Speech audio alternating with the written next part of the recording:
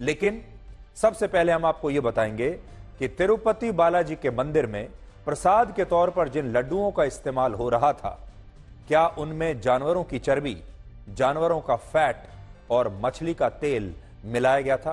क्योंकि आज पूरे देश के हिंदू ये जानना चाहते हैं और नई जानकारी जब से उन्हें मिली है, तब से हिंदू धर्म को मानने वाले तमाम लोग बहुत परेशान हैं।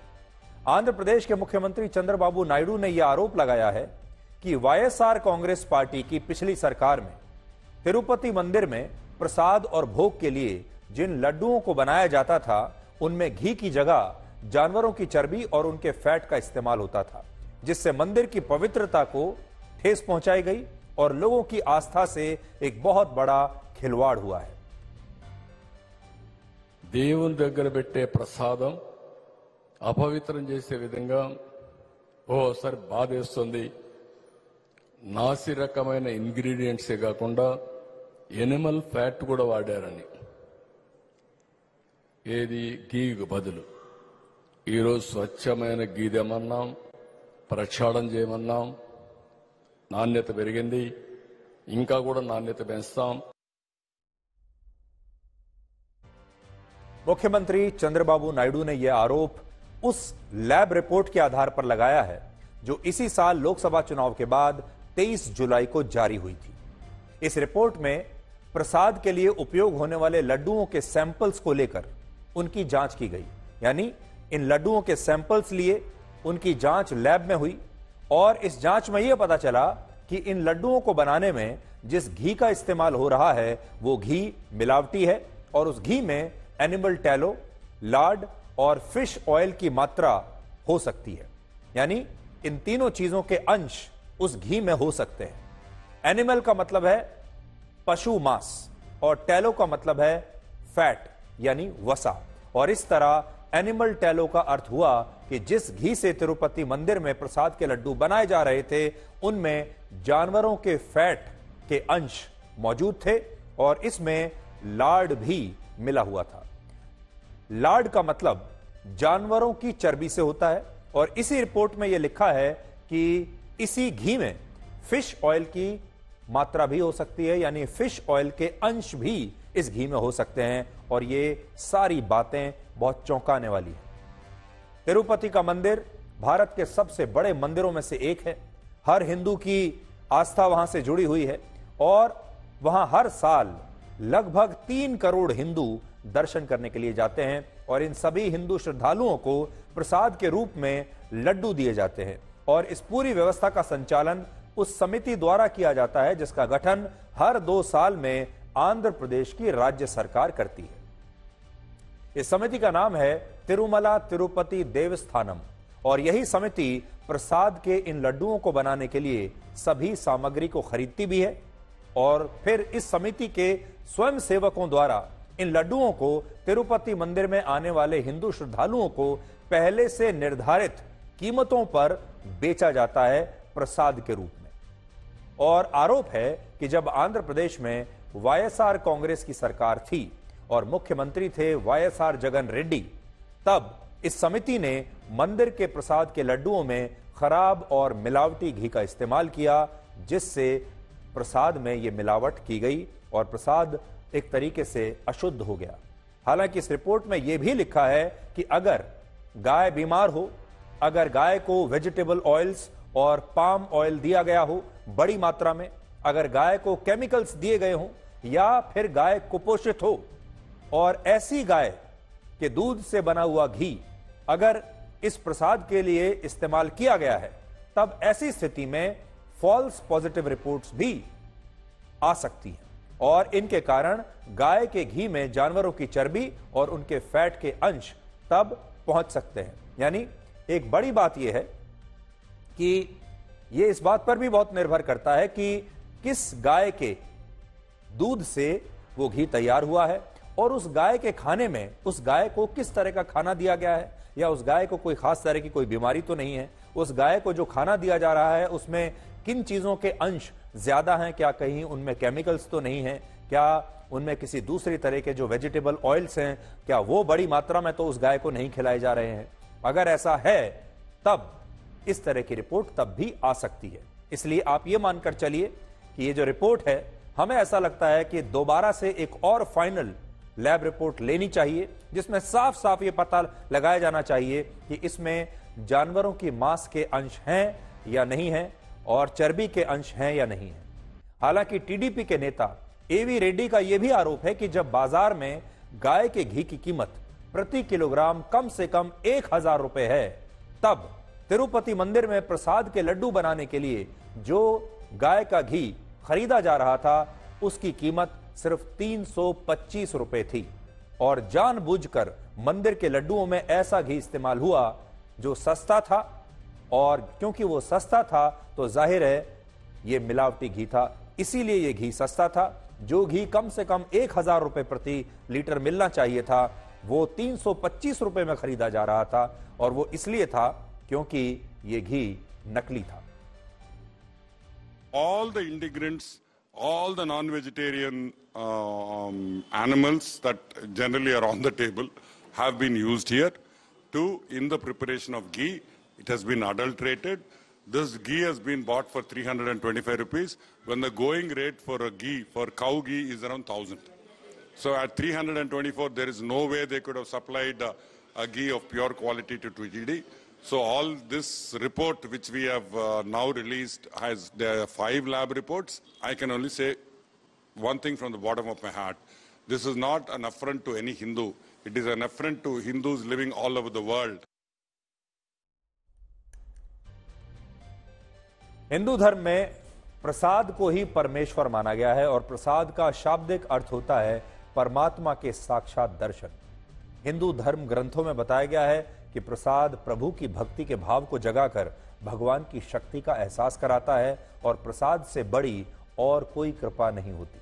इसलिए जब भी आप किसी भी मंदिर में जाते हैं तो प्रसाद ज़रूर ग्रहण करते हैं, क्योंकि ये भगवान का भोग माना जाता है। आपने भी देखा होगा कि जब लोगों को प्रसाद दिया जाता है तो वो इस दौरान शुद्धता का बहुत ध्यान रखते हैं। हम प्रसाद लेते समय अपने हाथ हमेशा धोकर लेते हैं। गंदे हाथों में प्रसाद लेना भगवान का अपमान माना जाता है।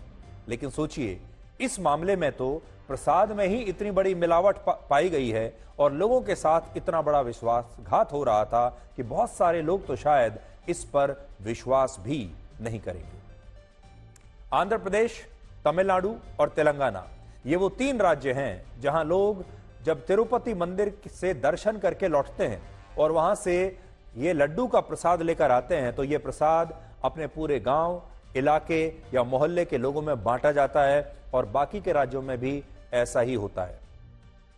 आप में से भी बहुत सारे लोग ऐसे होंगे जिन्होंने ये प्रसाद ग्रहण किया होगा। बहुत सारे लोग तो ऐसे होंगे जिन्होंने तिरुपति के मंदिर में जाकर दर्शन किए होंगे और फिर ये प्रसाद ग्रहण किया होगा और फिर आप अपने दोस्तों के लिए, परिवार के लिए इस तरह का प्रसाद वहाँ से खरीद कर भी लाए होंगे, ताकि आप अपने दोस्तों में और लोगों में इस प्रसाद को बांट सके। आप में से बहुत सारे लोग ऐसे भी होंगे जो कभी तिरुपति मंदिर नहीं गए होंगे, लेकिन उन्होंने ये प्रसाद कभी ना कभी ग्रहण ज़रूर किया होगा।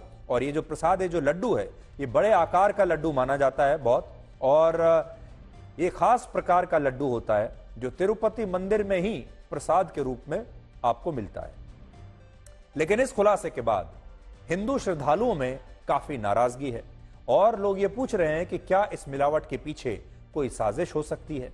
और ऐसा हुआ कैसे कि मंदिर समिति को यह पता ही नहीं चला कि वो जो सस्ता घी खरीद रही है, उसमें जानवरों की चर्बी या उनका फैट भी मिला हो सकता है। क्योंकि जो नकली घी होता है, उसमें अक्सर इस तरह के केमिकल्स का प्रयोग किया जाता है। उसमें अक्सर जानवरों की चर्बी का भी प्रयोग कई बार किया जाता है। और हो सकता है कि ऐसे घी का प्रयोग इस प्रसाद को बनाने के लिए किया जा रहा हो, क्योंकि भ्रष्टाचार हमारे देश में इतने हद तक, इतनी गहराइयों तक, देश की जड़ों तक फैल चुका है कि अब भ्रष्टाचार कहीं भी पहुँच सकता है, किसी भी स्थान पर भ्रष्टाचार पहुँच सकता है। हालाँकि इन आरोपों को वाईएसआर कांग्रेस ने बेबुनियाद बताया है और मंदिर समिति के पूर्व अध्यक्ष ने भी यह दावा किया है कि तिरुपति मंदिर के लड्डू में कभी भी मिलावटी घी का प्रयोग नहीं हुआ और यह सब सिर्फ़ राजनीति की वजह से हो रहा है।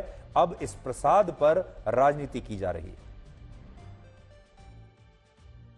Chandrababu Naidu chief minister of Andhra Pradesh made allegation TTD and our earlier our government is baseless and we are strongly condemning and also we have given the challenge to him to come and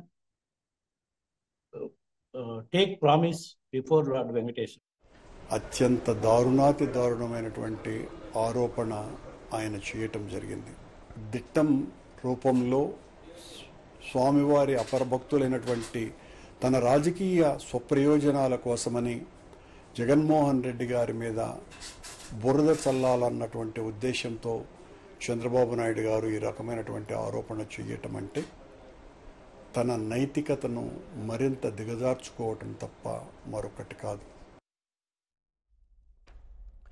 और अभी मेरे हाथ में उस lab report की copy है जिसमें यह बताया गया है कि यह घी नकली हो सकता है और इस घी का जो सैंपल है उसे लैब में भेजा गया था ताकि इसकी जांच हो सके और आपकी स्क्रीन पर भी जो आप देख रहे हैं देखिए इसमें जो फॉरेन फैट पाया गया है फैट के जो अंश हैं कहाँ कहाँ से आए हो सकते हैं? सोयाबीन से sunflower wheat germ maize germ cotton seed लेकिन कॉटन सीड के बाद अगर आप देखें तो फ़िश ऑयल लिखा हुआ है, यानी मछली का तेल। इसके बाद अगर आप देखेंगे पाम ऑयल लिखा हुआ है और फिर लिखा है बीफ टेलो और चौथे नंबर पर लिखा हुआ है लार्ड ये सब आपकी स्क्रीन पर है।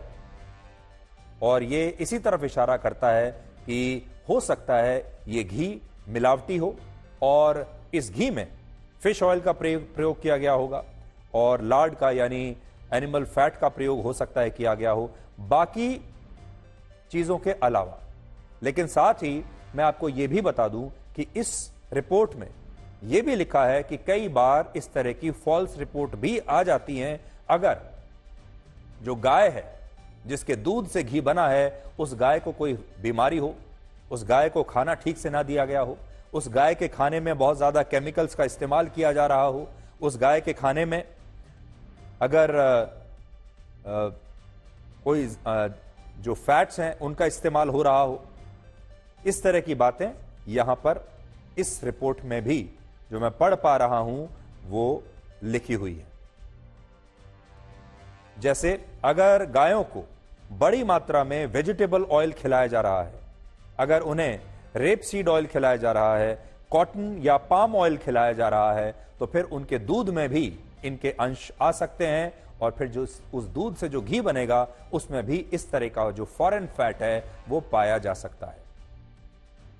भारत एक ऐसा धर्मनिरपेक्ष देश है, जहाँ मंदिरों से होने वाली आमदनी में सरकार का हिस्सा होता है। लेकिन मस्जिद, चर्च और गुरुद्वारों से होने वाली आय में सरकार का कोई दखल नहीं होता। इस मामले में भी तिरुपति मंदिर को हर साल जो लगभग तीन हज़ार करोड़ रुपए का चढ़ावा मिलता है, दान मिलता है, उनमें से लगभग 500 से 600 करोड़ रुपए लड्डुओं के उस प्रसाद को बेचकर आते हैं, जिनमें अब मिलावट होने के आरोप लग रहे हैं।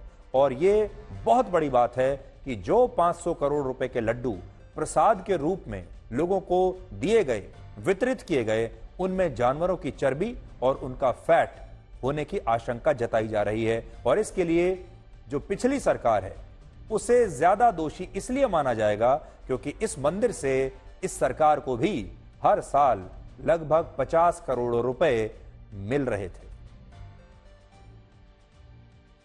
तो आज असल में हर हिंदू इस रिपोर्ट को देखने के बाद बड़ा परेशान है। और आस्था का जहाँ प्रश्न आता है, वहाँ पर अगर विश्वास टूटने लगे, आस्था टूटने लगे, मन में अगर कोई शक पैदा हो जाए तो फिर आप सोच सकते हैं कि उन लोगों की जो आस्थाएँ हैं, उन्हें कितनी ठेस पहुंचेगी। इस समय भारत में जो करोड़ों हिंदू हैं, जो कि मंदिरों में जाते हैं खास तौर पर इस मंदिर में आते हैं जहाँ की आज बात हो रही है प्रसाद को ग्रहण करते हैं, अपने घर ले जाते हैं, अपने परिवार में उस प्रसाद को बांटते हैं। वो सारे लोग आज आशंकित हैं कि उन्होंने पहले इस मंदिर को लेकर जो प्रसाद खाया, जो प्रसाद उन्होंने ग्रहण किया, जो अपने परिवार के दूसरे लोगों को दिया, क्या वो कोई धोखा था? क्या उस समय उनकी आस्था को धोखा दिया गया है? क्या उनकी आस्था के साथ, उनकी भक्ति के साथ कोई खिलवाड़ किया गया है? कल हमने आपसे एक बात की थी और हमने आपको कहा था वन नेशन वन करप्शन यानी करप्शन पार्टी चाहे कोई भी हो, यहाँ एक किसी पार्टी को आप पिन पॉइंट नहीं कर सकते। ये हमारा समाज और हमारे देश की व्यवस्था अब ऐसी बन चुकी है कि पैसा कमाने के लिए हमारे देश में कुछ भी हो सकता है। किसी की आस्था के साथ खिलवाड़ हो सकता है, किसी के साथ धोखा हो सकता है, किसी का हक मारा जा सकता है। और यह भी हो सकता है भ्रष्टाचार का एक मामला हो। इसमें दो आशंकाएँ होती हैं। एक, हो सकता है इस प्रसाद के ऊपर राजनीति की जा रही हो। दूसरा, यह हो सकता है कि इस प्रसाद को लेकर भ्रष्टाचार किया हो किसी ने, और कुछ ऐसे मुट्ठी भर लोग होंगे जिन्होंने शायद इस प्रसाद के ज़रिए कुछ पैसा कमाने की कोशिश की होगी। इसलिए आज हम यही कहना चाहेंगे। एक, इस सैंपल की या और दूसरे सैंपल्स को लेने के बाद इनकी दोबारा से एक बार लैब में जाँच होनी चाहिए। और मन में जो आशंकाएँ हैं, मन में जो शक पैदा हो रहा है, और इस रिपोर्ट में भी जो लिखा है, उसको पूरा स्पष्टीकरण के साथ एक फाइनल रिपोर्ट देश के सामने आनी चाहिए, जिसमें पूरी पुष्टि के साथ यह बताया जा सके कि इस प्रसाद में मिलावट थी या नहीं थी। देखिए यह हो सकता है कि पैसा बचाने के लिए उस मंदिर समिति के कुछ सदस्यों ने, या जो भी लोग इसके जिम्मेदार थे उन्होंने इस प्रसाद को बनाने के लिए सस्ता घी प्रयोग किया हो।